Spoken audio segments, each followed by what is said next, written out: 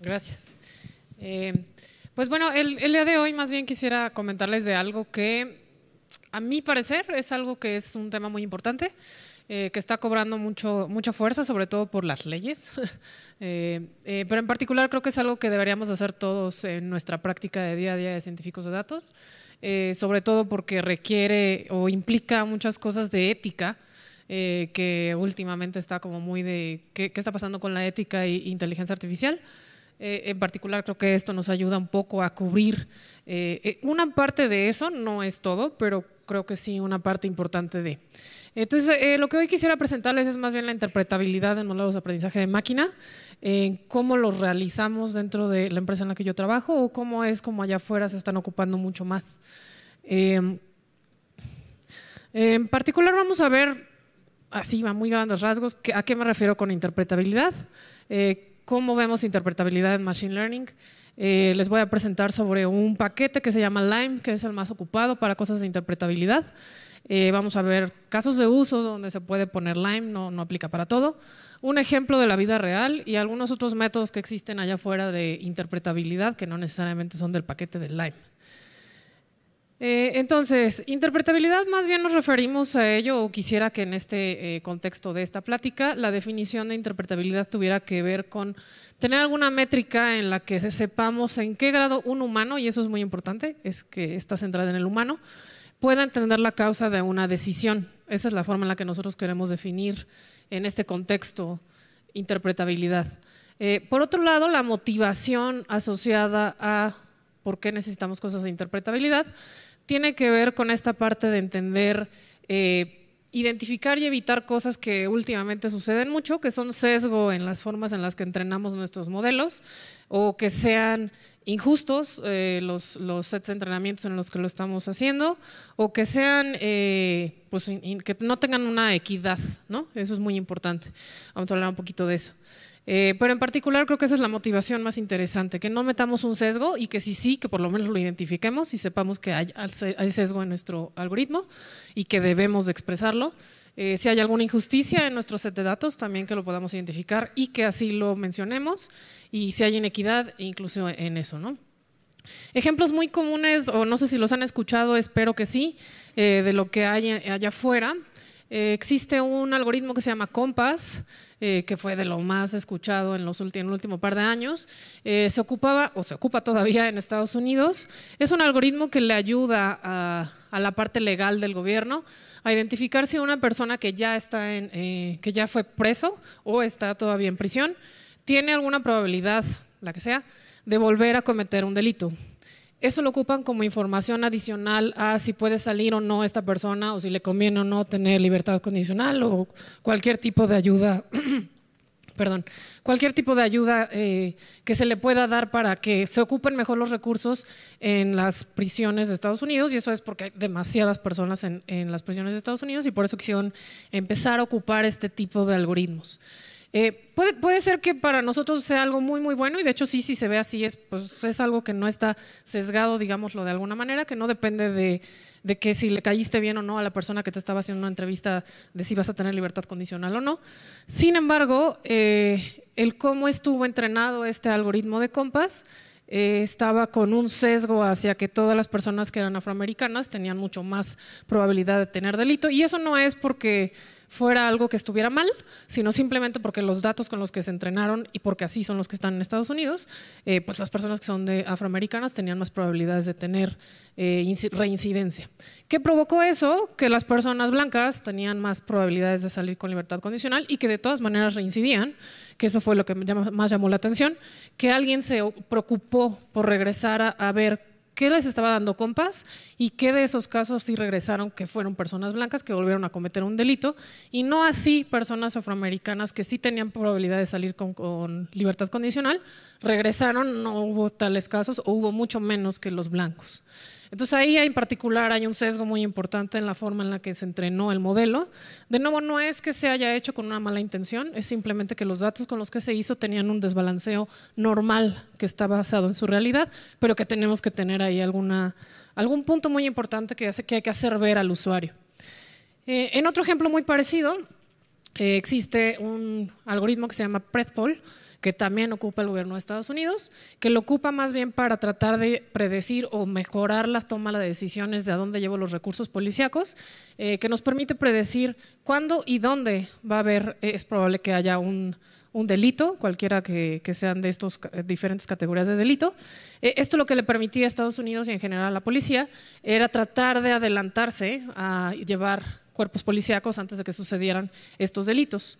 Em, no parece ser algo malo, de nuevo. el, problema es que, de nuevo, el set de entrenamiento con el que fue hecho, eh, pues sesgó muchísimo a que solamente se mandaran policías a lugares en donde ya sabían que había, era más probable que pues, sucediera un crimen. Eh, dejando de lado aquellos otros en donde también podía haber crímenes, en donde había más gente blanca, gente más rica, e, etc.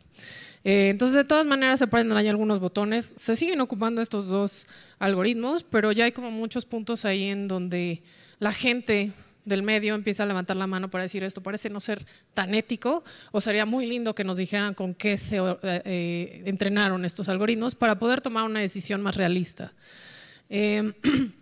Por otro lado, también eh, justo eh, en la mañana comentaban uno de los conferencistas que le gustaba mucho la parte de facial recognition y todo lo que estaban haciendo con Microsoft al respecto. Eh, y sí, hay muchísimas cosas ahora que tienen que ver con facial recognition y que nos permitan hacer cosas muy maravillosas para el bien de todos, o casi todos. la cosa es que la cosa es que eh, las que son como de mayor, gracias, las que son como de mayor, las que tienen mayor parte en la parte de facial recognition, que lo hacen muy bien, justo mencionaba el conferencista, pues es Microsoft, entre ellos. IBM también lo hace muy bien. En general, una empresa china que se llama MechVI eh, también lo hace muy bien y eso porque está asociado a un programa de gobierno chino en donde ahora todo el mundo va a tener un score, si es que vieron Black Mirror, eh, vieron eh, un capítulo en donde todo el mundo tiene un score ciudadano y dependiendo de tu score de qué tan buen ciudadano eres, tienes acceso o no a ciertas cosas que hace el gobierno. pues ya no es Black Mirror, ya es la vida real. y dentro de eso viene mucho de reconocimiento facial.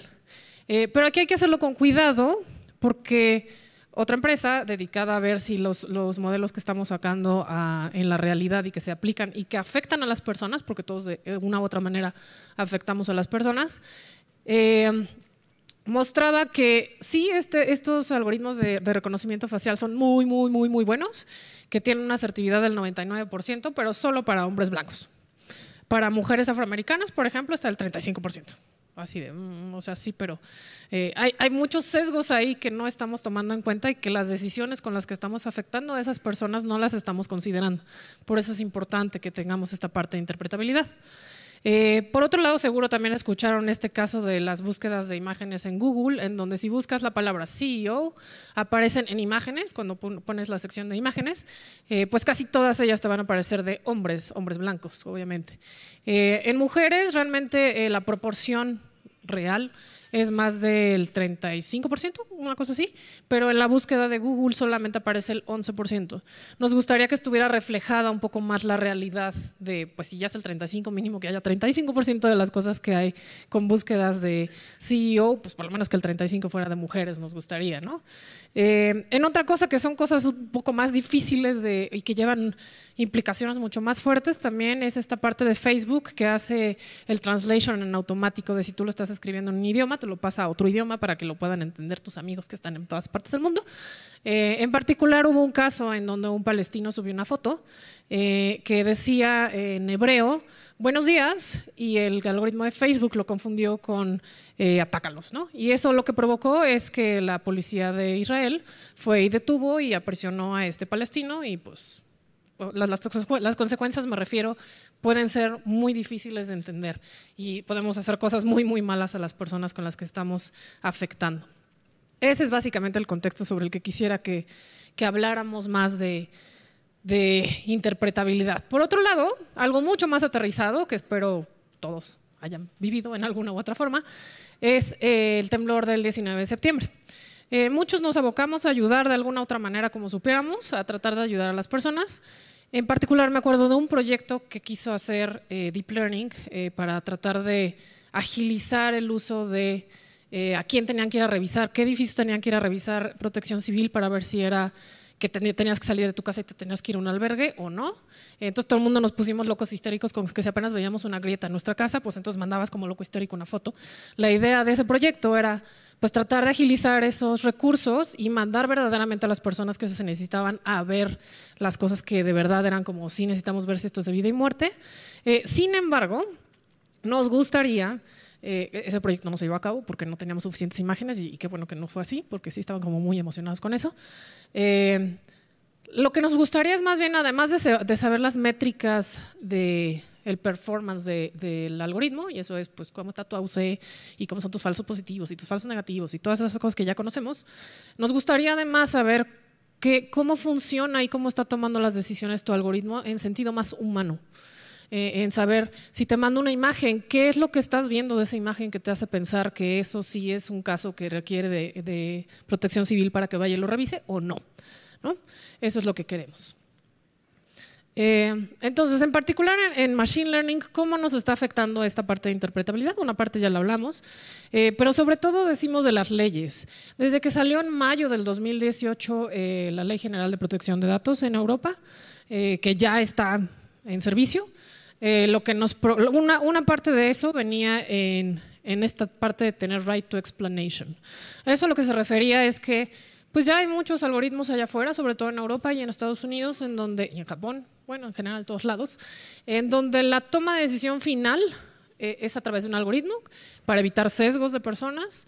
Eh, piensen en, de nuevo, algo, por ejemplo, un crédito hipotecario, en donde si le digo que no a una persona, tengo el derecho yo como humano de saber por qué me están negando ese crédito y no nada más por saber el por, el por qué sí o por qué no, para evitar un sesgo, obviamente, pero sí para saber el qué le tengo que mover en los siguientes seis meses para que la siguiente vez que venga puedan decirme que sí me aceptan mi crédito hipotecario. ¿no? Es como darle más información al usuario, no nada más tiene que ver con el sesgo, sino sí también poderle dar más información al usuario.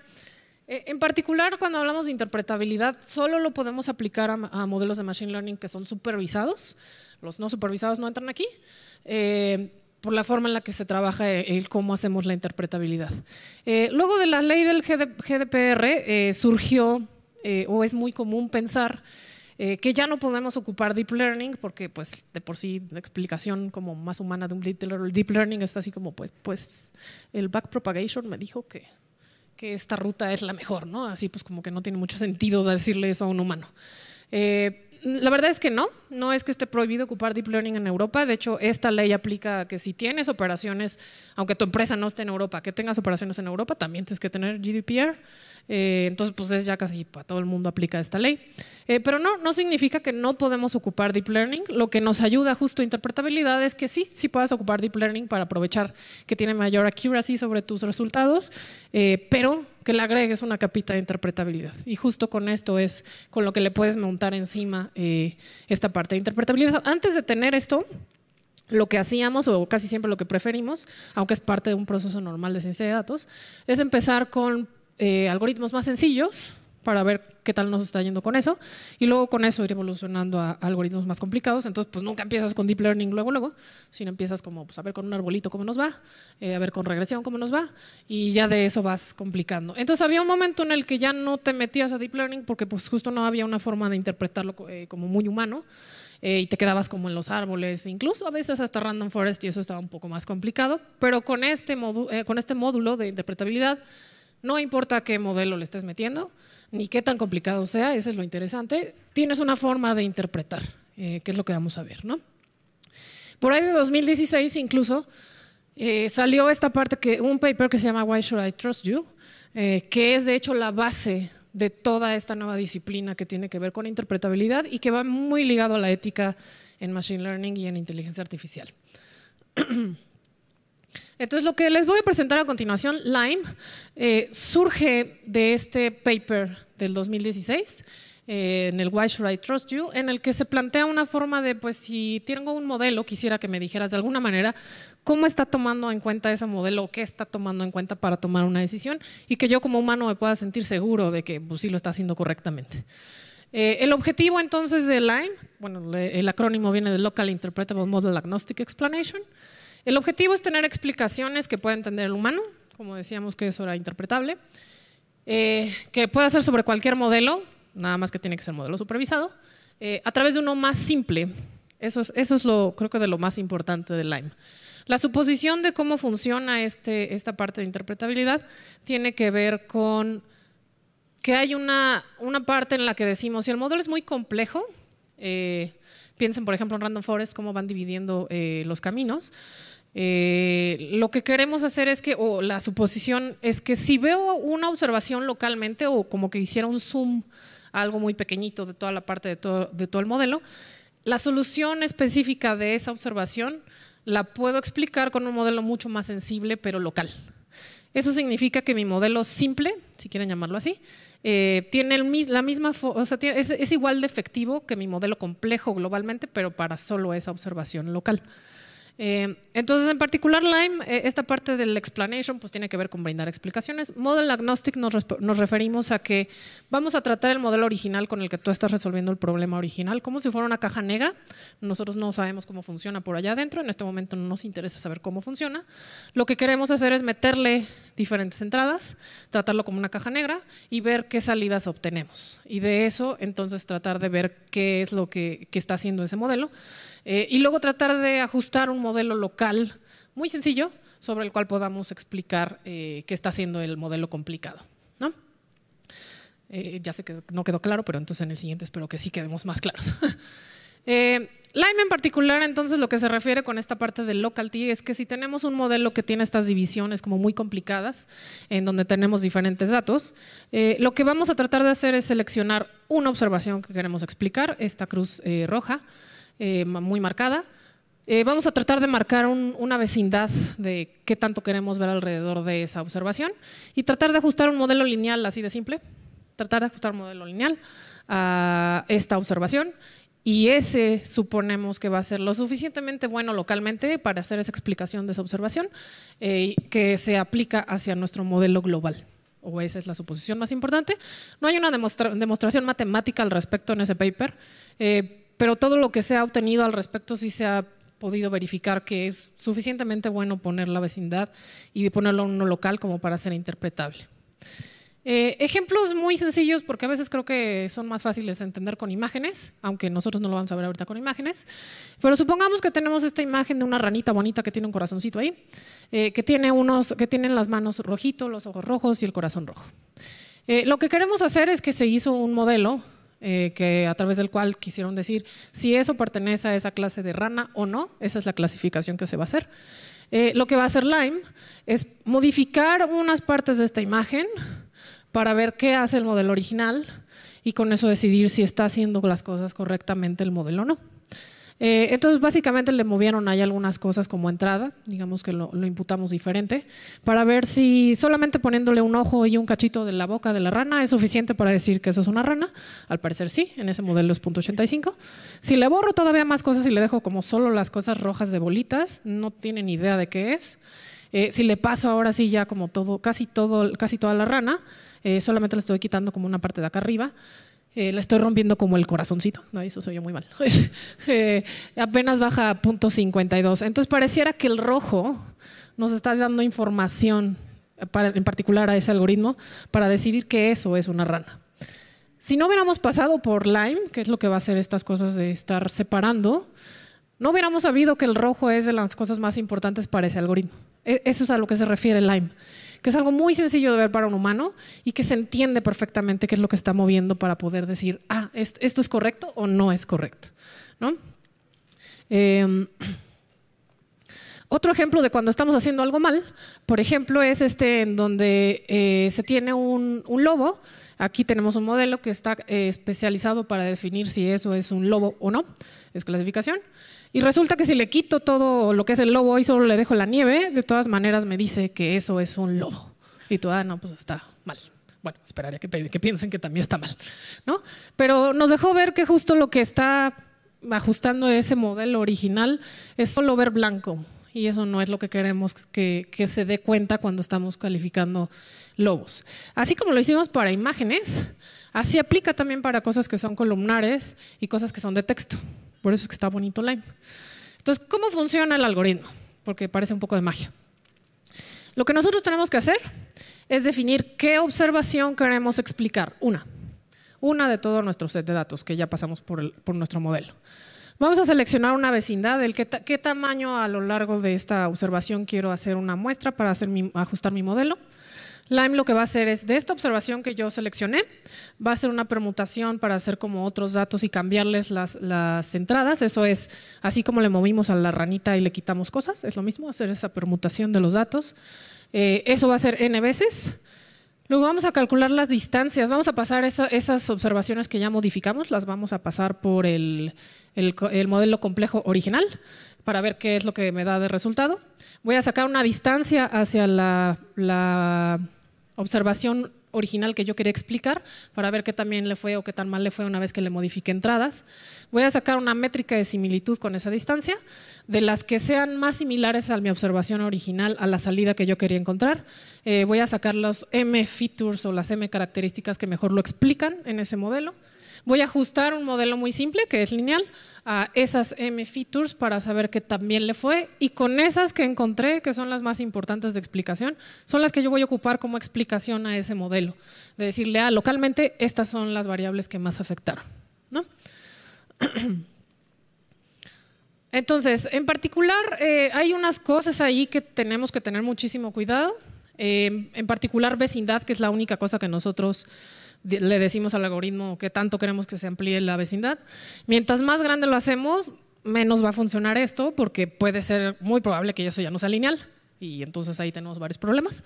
Eh, similitud, eso solito lo resuelve el, el, algoritmo del Lime aunque lo que hace por adentro es sacar distancias. Si estoy en texto, hace distancia coseno. Si estoy en cosas que son de datos tabulares, hace distancia euclidiana. Eh, por default tiene una vecindad de 0.75 en un radio y eso lo multiplica por la raíz del número de variables que tenga, que se parece muchísimo a cómo lo divide eh, Random Forest en la selección de variables para hacer sus árboles. Eh, y la selección de variables él solito lo decide y para saber eso de qué tan bien nos va o qué tan mal nos va, ocupa varios algoritmos por ahí para decidir si son buenos o no, o si apartan información o no, si son importantes o no. En particular lo que ocupa por default es una cosa que se llama forward selection, que debe si vienen del mundo de ciencia de datos, pues es una forma muy sencilla de ver eh, cómo seleccionar cuáles son las variables más importantes. Otros esperaríamos que también pudiéramos meterle árboles, porque son muy sencillos de hacer. Eh, en este momento la versión de Lime no acepta eh, árboles. También acepta lazo en regularización, entonces ahí, también nos permite que algunos coeficientes vayan a cero y nos permite dejarnos con los más importantes. pero en particular si hay varios nuances ahí que tenemos que verificar eh, antes de aventarle una cosa a algún, algún modelo. Eh, los beneficios creo que sí son muy claros, que identificamos si podemos confiar o no en las predicciones que estamos haciendo, por eso es como científicos de datos, ya ni siquiera saliendo hacia el cliente, sino como científicos de datos, podemos verificar si un modelo lo está haciendo bien o no y si no, hacer algo al respecto. Eh, podemos generar confianza al usuario final, que es lo que más bien les voy a mostrar a continuación podemos brindar eh, información que es muy importante para ver si hay algún sesgo. Por ejemplo, eso de que el lobo solamente viera si era blanco, pues es un sesgo muy importante sobre ese dataset, en donde le estoy diciendo, si tengo cosas blancas, estoy diciendo, estoy diciendo que es un lobo, y eso aplíquenlo a todo lo que habíamos hablado antes. Eh, y en particular lo bonito de Lime es que se puede ocupar en R y en Python, que es donde casi todos trabajamos. ¿no? Las desventajas es justo definir esa vecindad, es muy importante. Si lo hacemos mal, pues eso ya no va a ser explicado localmente bien. Y entonces estoy haciendo una regresión lineal sobre algo que no es lineal. Eh, y ya con eso ya le di la torre a todo lo demás. Eh, y solo para junio del 2018 apenas eh, ese modelo sencillo con el que vamos a ajustar, solamente era posible hacerlo con Rich. Entonces, bueno, esperemos que pronto le agreguen un poco más de cosas a las cosas simples que pueden tener, como de nuevo árboles. ¿no? casos de uso, eh, ¿En dónde podemos ocupar esto? Pues lo primero y más importante es que nada más se pueden ocupar en cosas que son de aprendizaje supervisado. Eh, sobre todo nos gusta mucho ocuparlos en cosas que son complicadas de entender hacia un o de explicar hacia un perdón, usuario de negocio, en donde explicarle cómo funciona una SVM es difícil, eh, pero pues bueno, SVM, Random Forest, redes neuronales clásicas, profundas, convolucionales, recurrentes, todo lo que tiene que ver con Deep Learning tiene su propia eh, forma de hacerlo con Lime, que está bastante bonito. Eh, claramente le puedo brindar una explicación al usuario final, que es lo que más nos interesa. y también lo puedo aplicar sobre eh, mi forma de trabajo como científico de datos para ver los diferentes modelos cómo les va. en particular le puedo meter al Lime datos que son tabulares, imágenes o texto. Sonido todavía no. Eh, un ejemplo de esto tiene que ver con algún caso de uso de alguno de nuestros clientes, en donde una microfinanciera requiere que le digamos, eh, a través de un modelo de Machine Learning, que le permita tener un nivel óptimo de, de crédito para un cliente. Eso es, cuánto le tengo que prestar sin que se vaya a ir a mora y yo no pierda y que coloque, ¿no? O sea, que ocupe ese crédito. En particular, queremos minimizar el riesgo de caer en mora, maximizar la oportunidad de, ocupar la mayoría de su crédito. Y el modelo puede emitir tres cosas, es clasificación. O aumento su línea de crédito, o disminuyo su línea de crédito, o dejo igual su línea de crédito. Después de eso viene otro modelo que le dice cuánto, pero eso ahorita no nos va a importar. Eh, eh, si aumento, pues seguramente no va a tener problema el usuario final con que le diga tienes más crédito. Creo. Eh, si lo dejo igual, tampoco va a tener problema. Sin embargo, si le digo que se baje, es cuando seguramente así, con una alta probabilidad, el usuario se va a ir a quejar y va a decir por qué. Y entonces es cuando tengo que darle una explicación. Eh, en ese sentido, justo hicimos un, modulito de interpretabilidad con Lime, a través del cual lo único que necesitas decirle es cómo generar tu explainer, eh, en donde son, en este caso en particular, como estábamos con datos tabulares, necesito un Lime Tabular Explainer, donde le paso el, el modelo de caja negra, que es el modelo entrenado con el que hicimos las predicciones originales, le digo que es un modelo de clasificación, le digo cuáles son las variables que estoy ocupando dentro de, de mi modelo de caja negra, cuáles son las categorías de mi, de mi clasificación eh, y el kernel width significa justo esta vecindad de la que estábamos hablando. De nuevo, por default tiene .75, con eso es suficientemente bueno, pero si quieren empezar a jugar con eso también lo pueden mover. Una vez que yo ya tengo el explainer, que es el cómo va a generar Lime esta, eh, este ajuste al modelo lineal, eh, lo que voy a hacer es decirle, bueno, ahora quiero que me expliques una observación, que es con este explain instance, al cual le voy a mandar una sola observación y quiero ver qué tal, qué tanto me predice o qué tanto me va a decir. en particular en este modelo de interpretabilidad, uno significaba que iba a caer en mora, eh, y en particular ahí me está diciendo de todas las variables que yo le mandé que ocupamos en el modelo, cuáles son las que más me están llevando a que esa observación en particular sea clasificada como que le baje el límite de crédito. Eh, y entonces ahí viene la explicación. Esos nombres no son muy propios para un usuario final, pero para nosotros nos servían bastante en entender qué es lo que estaba pasando en ese modelo. Eh, para otra de las explicaciones, eh, en este caso me dice, no, no hay riesgo, está bien, y en este caso vienen más hacia el lado de la izquierda de los ceros. ¿Qué variables son las que están afectando, que me están diciendo que no hay problema con este usuario, le puedo aumentar su límite de crédito? Ahora, eso está muy bonito, eso es justo lo que hace Lime, pero en la vida real, pues no necesito además de eso, no sé si me pase a otra. Sí, no. Eh, además de, eso, en la vida real lo que le necesito pasar al usuario no es esa tablita que tiene nombres estrafalarios de cómo yo ocupé las variables, sino más bien algo que le sirva muy claramente a su gente cómo explicar que está bien o que está mal. Entonces, de las cosas que hicimos de interpretabilidad y explicación con Lime, pasamos a un bill Excelito con una tarjetita de colores, en donde te estoy diciendo eh, si, cuál fue la variable que más eh, le afectó a su resultado para que la siguiente vez, cuando venga a pedirte un aumento o lo que sea necesite de su crédito, tú sepas explicarle perfectamente qué es lo que le tiene que mover para que mejore. ¿no?